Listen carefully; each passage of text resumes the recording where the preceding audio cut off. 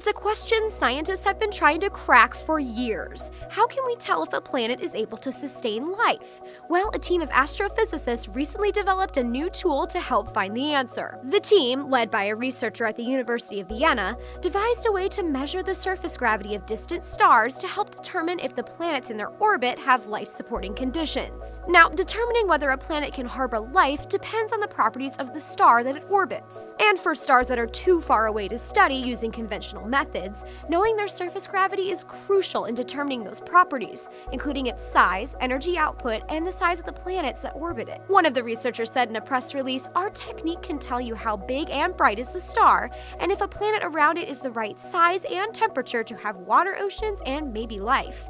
If you don't know the star, you don't know the planet. So, how exactly do you determine a star's gravitational pull? The team used data of star brightness from Canada's MOST and NASA's Kepler satellites. The researchers say they hope this new technique will help other astrophysicists correctly characterize the planets they find in the future. You can check out their findings in detail in the journal Science Advances. For Newsy, I'm Briana Altergott.